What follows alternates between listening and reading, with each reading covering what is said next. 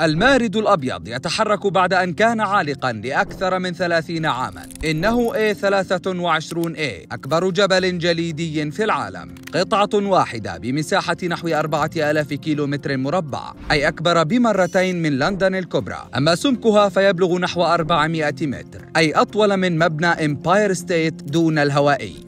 عام 1986 انفصل هذا العملاق الجليدي عن الجرف الجليدي فلتشنر في القطب الجنوبي وظل عالقا من أسفله في قاع المحيط حتى رصدت أولى تحركاته عام 2020 بسبب ارتفاع درجة حرارة المياه ولا يزال يشد الخطى. وإذا وصل إلى منطقة تسمى جورجيا الجنوبية فقد يسبب مشاكل لملايين الفقمات والبطاريق والطيور البحرية الأخرى إذ سيعطل مسارات البحث الطبيعية للحيوانات هناك ما يمنعها تمنعها من إطعام صغارها بشكل صحيح.